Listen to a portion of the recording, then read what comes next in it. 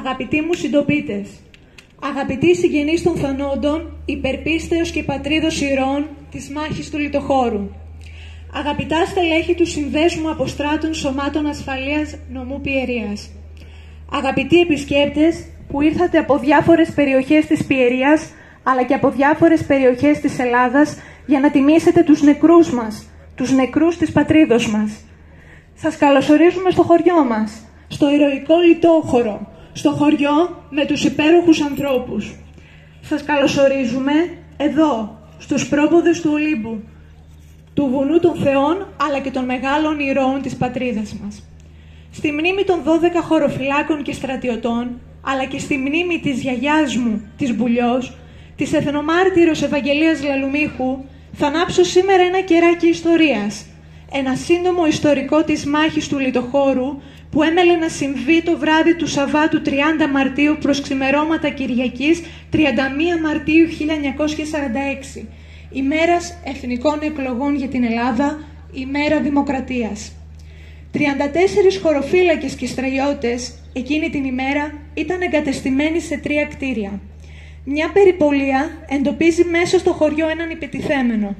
Και τότε αρχίζει η μάχη του Λιτοχώρου.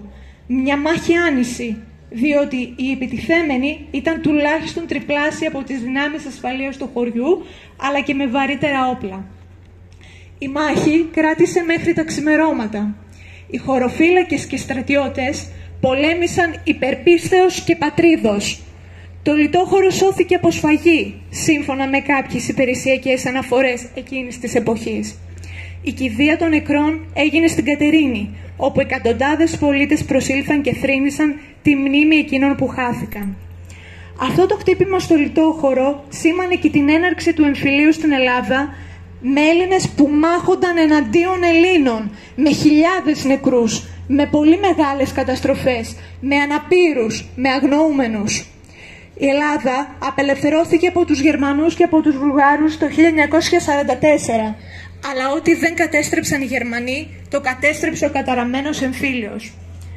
Είμαστε ευγνώμονες προς εκείνους τους χωροφύλακες και τους στρατιώτες που αντιστάθηκαν, θυσίασαν τη ζωή τους και έσωσαν το χωριό μας, το λιτόχωρο. Σήμερα, 80 περίπου χρόνια μετά, δεν αισθανόμαστε μίσος για αυτούς που δολοφόνησαν τους υπερασπιστές του λιτοχώρου, αν και οι επιτιθέμενοι δεν ζήτησαν ποτέ έστω μια τυπική συγνώμη. Δεν αναγνωρίζουν καν τα εγκλήματα που έκαναν σε βάρος αθώων. Κάποια εγγόνια των επιτιθέμενων, αλλά και κάποιοι υποστηρικτές τους, ζητούν σήμερα να ξεχάσουμε τα τραγικά γεγονότα, τα οποία και διαστραβλώνουν. Μα ζητούν να τα ξεχάσουμε, να μην τιμούμε τους νεκρούς μας και μας επιτίθενται συνεχώς. Εμείς όμως θα τιμούμε πάντοτε τους νεκρούς μας, εκείνους που έπεσαν υπερπίστεως και πατρίδος και που μας χάρισαν το παράδειγμα του αγώνα για την ελευθερία. Θα θυμόμαστε πάντοτε εκείνα τα γεγονότα, όχι για να μισούμε ο ένας τον άλλον, όχι για να μισιόμαστε, αλλά για να μην τα επαναλάβουμε. Κάποιοι άλλοι μισούν, όχι εμείς. Οι 12 χωροφύλακες και στρατιώτες, αλλά και η γιαγιά μου η Μπουλιό, ή αλλιώς η Ευαγγελία Λαλουμίχου, θα μείνουν πάντοτε στο πάνθεον των ηρώων.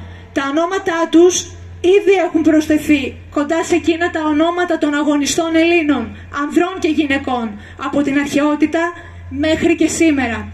Διότι έπεσαν υπερπατρίδος, έπεσαν υπερπατρίδος, διότι πάνω απ' όλα το παλιτιμότερο είναι η πατρίδα. Μητρώστε και πατρός και των άλλων προγόνων απάντων, τιμιότερον εστί πατρίς και σεμνότερον και αγιότερον και μίζων η μοίρα και παραθεής και παρανθρώπης της νουν έχουσιν, όπως γράφει ο Πλάτωνας στο βιβλίο του Κρήτων. Σας ευχαριστώ. Ευχαριστώ για την παρουσία όλων σας σήμερα.